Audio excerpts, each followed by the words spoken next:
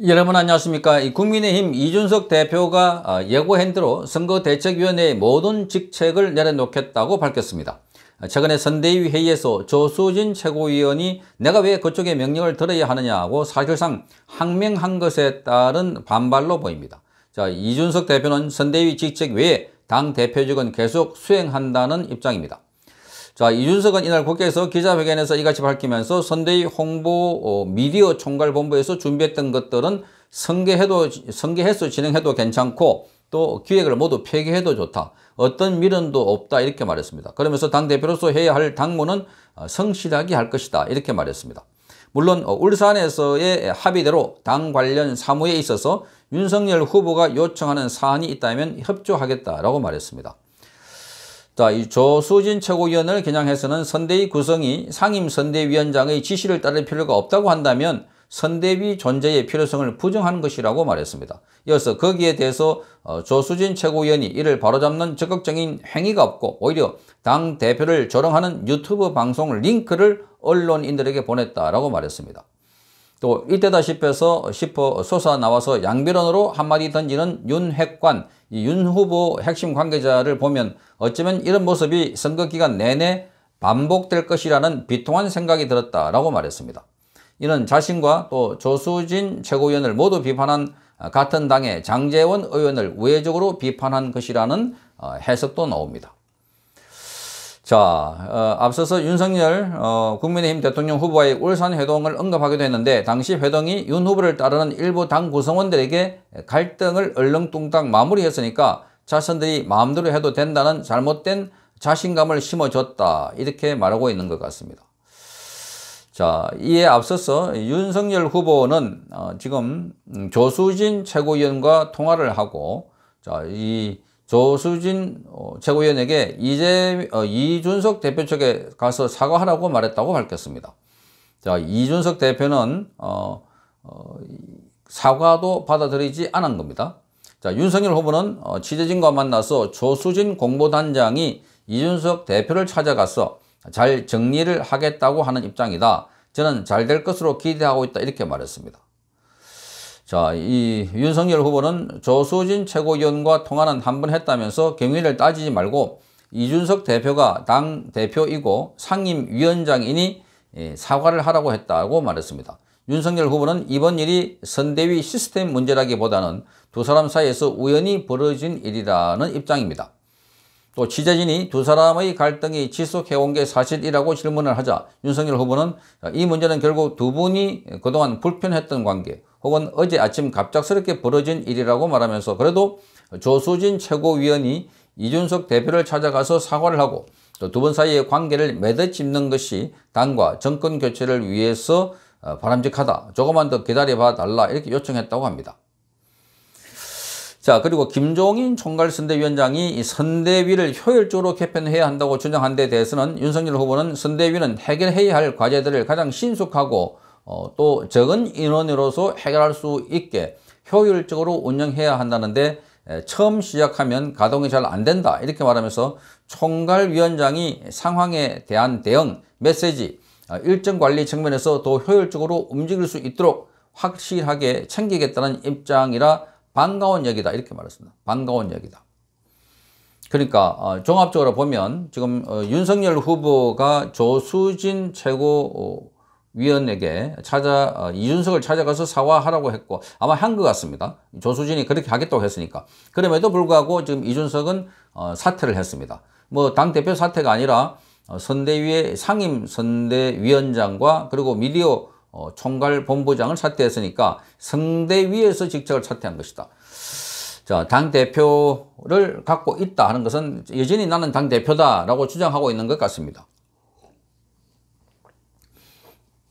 자, 이걸 보면 이준석의 이 사태는 어, 이, 이 김종인과의 어떤 이 연계된 상황에서 나온 것 같고 어, 김종인도 지금 당 선대위를 아주 어, 단일 체계로 만들겠다. 내가 이걸 먹더라도 그렇게 만들겠다. 이렇게 하면서 임태희 총괄 상황실장에게 자, 총괄 상황실장이 전달받아고 어, 모든 이야기를 취합해가지고 윤석열 후보하고 통화해라. 이렇게 말하는 거니까 지금 김종인은 역할을 하는 게 없습니다. 그냥 가만히 앉아 있는 것 같고 자, 여기서 김종인도 어, 앞으로 일정을 챙기고 뭐 하겠다 이렇게 하는 거 보니까 그거는 잘 하는 거다. 그렇게 해줬으면 좋겠다. 이 말은 지금 김종인은 여기 총괄 선대위원장에서 아무런 하는 일이 없다 하는 겁니다. 오히려 방해하고 있다.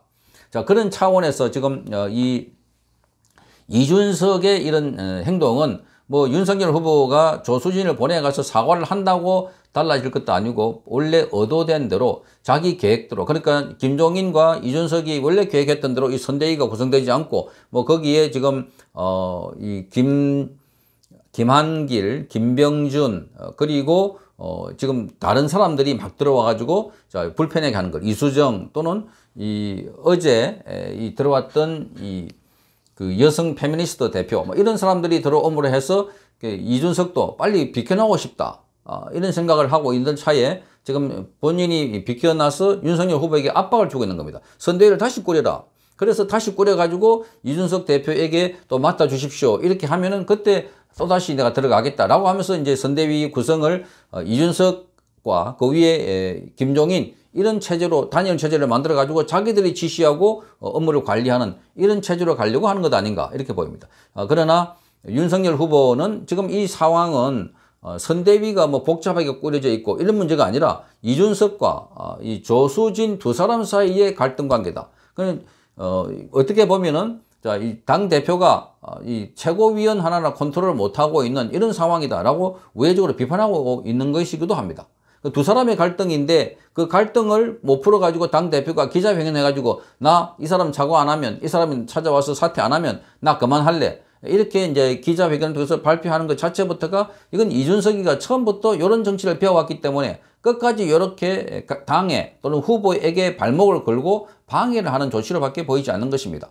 그러니까 윤석열 후보로서는 지금 조수진에게 전화해가지고 빨리 찾아가서 사과해라. 뭐 이렇게 엎드리라 라고 했고 조수진도 그렇게 하겠다라고 입장을 밝힌 겁니다. 아마 그렇게 한 걸로 보이는데도 불구하고 이렇게 기자회견을 해가서 자, 이 윤석열 후보에게 또 타격을 주고 그 다른 사람들 보면은 자, 이 국민의힘의 선대위는 뭐 메버드급 공룡 같았어. 이 사람 저 사람 홍준표 후보 어, 의원이 말한 것처럼 잡탕밥이 돼가지고 온 사람들이 다 모여가지고 중구난방이다 이런 이미지를 주기에는 너무나 좋은 거다. 왜? 당 대표가 밑에 있는 사람인데 밑에 있는 사람이 당 대표를 쳐받아 가지고 당 대표가 기자회견 해가지고 나 못하겠다. 이렇게 하는 정당이 되도록 된 정당이냐 이렇게 당 관리를 못하는 후보가 뭐 어, 대통령을 하면은 정권을 제대로 관리하겠나 이런 타격을 주는데 충분합니다. 그런 걸 보면 지금 김종인이든 이준석은 여기 들어와서 당을 지금 해체하거나 또는 방해하거나 이런 어, 데 앞장선 인물이지 당을 잘 굴러가게 하는 사람은 아닌 것 같다. 계속해서 자기가 인터뷰해야 되고 계속해서 자기가 노출돼야 되고 하는 게 이준석이가 익숙해 있기 때문에 어, 이준석은 당 대표도 이참에 내놔놓고 이준석이 없어도 당이 잘 돌아간다는 거. 이준석이 없으면 오히려 더 많이 잘 돌아가고 더 잘 될 수 있다는 것을 보여주지 보여줘야 하지 않을까 이렇게 보입니다. 그러니까 윤석열 후보는 후보대로 지금 조수진 대표를 시켜서 사과를까지 했고 아마 사과한 걸로 보이는데 그럼에도 불구하고 보란 듯이 이렇게 사퇴한다는 것 자체가 지금 윤석열 후보를 도와서 대선을 승리로 이끌어야 되겠다 간절한 마음이 없는 것 같습니다.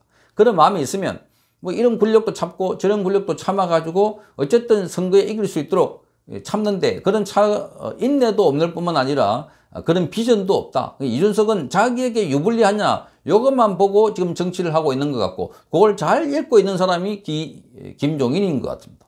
김종인은 지금 어, 지금까지 이 당이 제대로 안 돌아가 있으니까 잘 돌아가게 해야 된다. 그러기 위해서는 슬림하게 해야 된다. 뭐 내가 욕을 들어 먹더라도 어, 단일 체제로 가야 된다.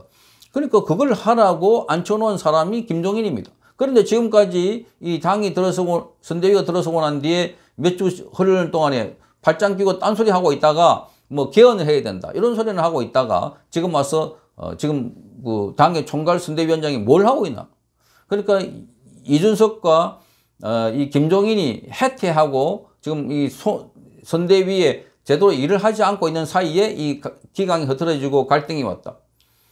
그러니까 어, 이 김종인과 어, 이 이준석의 역할이 너무나 어, 잘못된 것이다.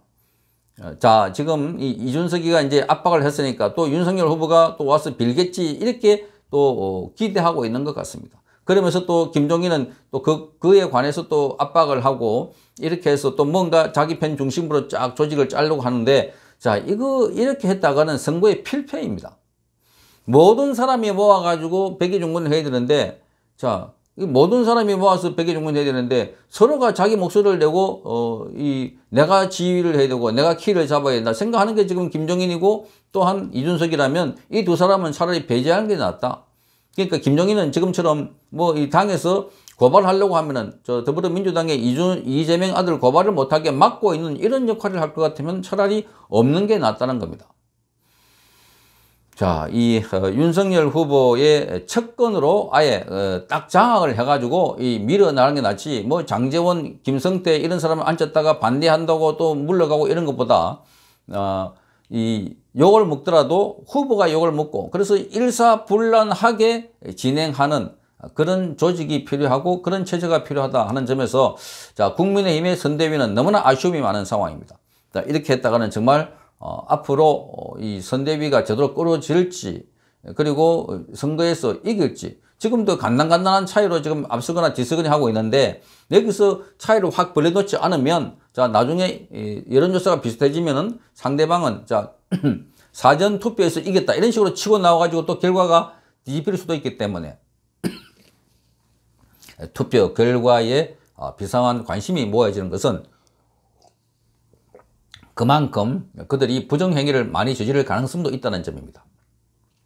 어쨌든 어, 이 선대위 구성에서 윤석열 후보가 적극적으로 나서서 어, 가르마를 타고 이준석이 빠져도 할 수 있다는 걸 보여줘야 합니다. 그리고 승리를 내기 위해서는 자, 이 윤석열 후보의 최측근에게 일을 맡기고 그래서 돌아갈 수 있도록 일사불란한 체제를 만들어주는 것이 무엇보다도 시급해 보입니다. 성창경 TV였습니다.